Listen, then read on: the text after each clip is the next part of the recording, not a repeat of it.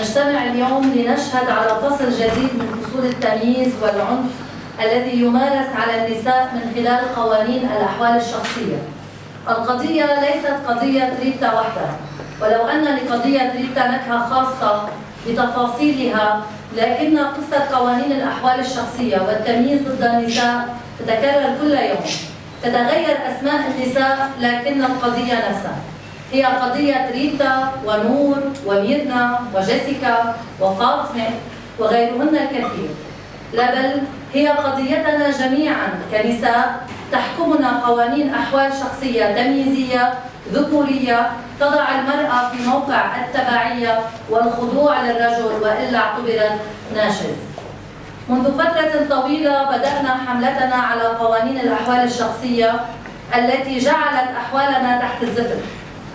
ومستمرين لرفع غلاف القدسية الدينية التي تتستر خلفه ذكورية هذه القوانين الناشزة هذه القوانين التي تسمح بتزويج الطفلات وتحرم الأم من حضانة أطفالها ولا تعتبرها أهل للوصاية أو الولاية عليهم. فهذه الامتيازات هي حكرا على الذكور حتى لو كان هذا الذكر غير أهل لهذه الولاية أو الوصاية. فلو كان سيء السمعة أو معنف لأطفاله هو لديه الحصانة التي لا يمكن المس بها في قوانين الأحوال الشخصية إلا في حالات نادرة واستثنائية ومن قضاة استثنائيين. لنستمع إلى شهادة ريتا التي تابعنا تفاصيلها جميعا هذا الأسبوع في الإعلام. أنا اليوم هون حتى أوجه رسالة عن كل مرة معنفة أو مظلومة أو حاملين أولادها وهي المرة أنا بعتقد إنه هي الأحق والأولى بأولادها لأنه هي اللي بتربيهم هي اللي بتتعب عليهم هي اللي بتخاف عليهم أكثر من غيرهم. مش مثل قصتي أنا إذا توفى جوزي يعني بدها تروح الحضانة والوصاية لجدهم أو لأهله لجوزي لأنه هن أهله أنا أمهم وأنا إلي حق بهذا الشيء إنه أبدا منهم يعني بهذا الشيء. أولادي أنا اللي خلقتهم لأنهم من لحمي ودمي أنا. مش منهم هن مش هن اللي بيسهلوا اللي بيتعبوا عليهم لما يكون ولد مريض هن عم يسألوا علي. أنا هلا أخبر قصتي اللي صارت معي وشو صار. أنا أم كاثوليكية وجوزي جوزي هو شيعي وأنا ما عامل جوزي كاثوليك وهو بإرادته يعني قبل يكون مسيحي وتعمد وعمل وعملنا زواجنا مسيحي وكاثوليك توفى خلفنا أولادنا وخلقوا وتعمدوا صاروا روم كاثوليك أولادنا. وأنا ما توفى جوزي توفى جوزي بطلاق نعم بحادثه صارت بتوفى فيها. بدي أروح طلع حاجات ايد لاولادي فبيطلع أولادي شيعة. فتش الدور بلاقي إنه قدرت يعني أجيب مستندات بالملف وكله. عرفت إنه هن مزورين بالوراق وعاملين إنه ورا ما توفى هو وطأ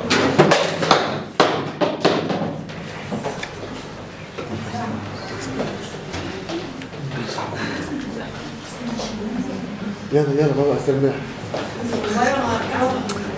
طبعا. يلا الآن بان بس. واحد من الأنبياء وبنكسر يمكن. كده ريما عم تظبطه بس ما بيأثر ما بيأثر يلا فينا نكمل والأنبي أن الطاق أنا بدفع المستقبل.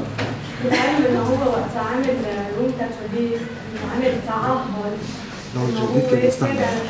لو الجديد آه كان الكاثوليك وحاكم الروم الكاثوليك وهذا التعهد اللي عمله موجود. فورا ما توفى فتش الدور اللي عاملين الاولاد عاملين شيء عن الاولاد اللي كانوا باخراجات أي شيء.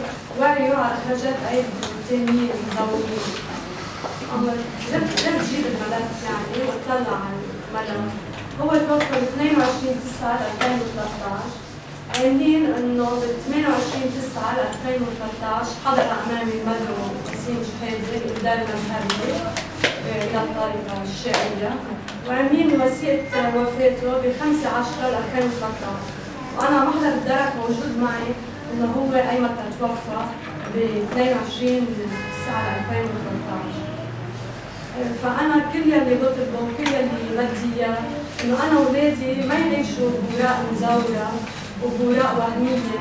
إنه أنا بدي حقوق اولادي أنا اولادي الاعضاء وبيقبلوا أوراق وهمية من زوج وأنا الوصاية لازم تكون لإلي لاني أنا أم للاولاد مش أنا بدهم يتحكموا فيي يتحكموا بالبيت بيركبوني الحضانة. مطلعين قرار حبس فيي. إنه إيه خلف أولاد. أي قرار يعني. بعدنا اي تخلف انه ام بتخطف اولادها وين يعني بعد بتصير الا عنا بدولتنا كل هذه المحاكم بتصير بالمعتقدات المعتقدات يعني معقدينا بهذه القصة لازم يغيروها كان عندنا محكمة نحن المحكمة الرحيمة أنا ومحاميتي كنا موجودين بالمحكمة والجد اعترف بالتزوير اعترف إنه هو زور لأنه في ميراث بيعطي ميراث للرب قلت له أنا إذا بتعطي ميراث لابنك فيك تكتب له شقة الأرض باسمه مش بتبدل له مذهبه تزوير وفيك مثلا تكاتب عادي تعمل له هذا الشيء يعني إذا لقيت همك بين ابنك فهو صار يقول إنه لا من حقه يعمل هيك واعترف إنه هو متزوج اعترف إنه كرمال الميراث. وبالمحكمة قال لي إنه اسقط حقه عن الحبس تبعي وعن الوصاية عن كل هول الاشياء عمل اسقاط ونحن طالعين من المحكمة. أنا ومحاميتي فبيلحقونا اخوات جوزي بالسلاح وبيهجموا علينا بالهجومي وبيهجموا علينا بالسلاح بالالكتروني فضلينا رايحين على مخبر الجديدي وهون الدولة شوفوا دورة شو كان مهم يعني. لما قال لهم إنه هن عليهم مذكرات بحث وتحري توقيت ما حدا منهم طلع بهالشيء بس اطلعوا فيي لإلي وحبسوني لإلي. وهن كلهم معهم سلاح وواقفين وعليهم بحث وتحري وأنا يلي توقفت وهن عادي عم يكذبوا قدامنا كان في جهة سياسية يعني. هون صورته خير السيلفي كان عم يصور مبسوط إنه عم يوقفوني هون كانوا عم يجربونا هن هي السيارة كانت ورانا والسلاح كان موجود هون وأنا ومحمية السيارة قدامهم كانوا عم يترجموا علي هون قال مبسوط. تم ألقاء القبض على ريتا شبلة التي خطفت خطفت هي إنه خطف أولادي. شو هالشيء المهم يعني عم يحكوا فيه إنه ام خطف اولادها يعني معترفين هون معترفوني وحطوني بالحبس مبسوطين بهالشيء وأنا اضطريت اخذ اولادي يعني أنا لما جبت الملف من دوائر النفوس مش بالهين يعني جبته يعني أول شيء مأمور النفوس ما كان بده يعطيني الملف. يعني في تزوير الملف. بس أنا قدرت جيبه للملف. قام اجى قال لي هيدا الملف إذا بتعطيه على القضاء إذا بيقطعوا لي قراءتك من الوليد للوليد دفنوا دفنوا اولادي في تحت خليك تشوفي وبدهم يقشطوني الأولاد انه كيف بدي ادعي عليهم إنه هو عمي يعني ما لي حق أنا ادعي عليه وإذا عمي أنا مش مضطر اعيش اولادي بالتزوير وبهيك تهديدات وظلم وغم إلى آخره يعني كثير أشياء يعني بتصير من تهديدات وظلم وعنف وكل كل شيء. وأنا ولادي ما بدي يعيشوا هيك بهيك الظروف اللي كل مره بيقوصوا إذا الأم عم يلاحقوها بدهم يقتلوها يعني شو متوقعين منهم يعملوا؟ يعني أي أمان أنا بدي أعمل لهم اياه أو أي شيء هن بدهم يحموا اولادي أكثر مني أو العالم اللي هن بدهم يعطوهم الوصايه اللي لهم لي أنا ام وأنا أكيد بشكر كل يلي كانوا معي من قضاة من محامين من محاكم من عالم صندوق من أنا لو ما جمعيه كفى هي وقت حدي وحميتني ما حدا كان حاميني يعني ما حدا قدم لي الحمايه مثل الحمايه اللي ممكن اقدم إياها. يعني هذا لو ما هن حاميني أنا أكيد كنت مقتول لأنه كانوا موجودين قدام الدرع وعامل لهم معهم سلاح وفي بحث وتحري عليهم. وعادي الدرب إنه واقف عم يتفرج. مش انه بيلقطهم اجى يلقطني إلي أنا المرة اجى يلقطني إلي أم أولاد خاطفه اولادها يعني هي جريمة كثير قوية عندها وهن اللي معهم السلاح وجايين بدهم يقتلوني ويتهجموا علي أنا عادي عم يتفرجوا يعني هيدي حالة من الحاجات اللي عم نعيشها كمان طبعا في كثير مآسي غيرها. في كثير أمات انحرموا وتابع الصحافي تابع كثير كم حالة سيدة صاروا مسجونين لأنه رفضوا يتخلوا عن حضانة أولادهم.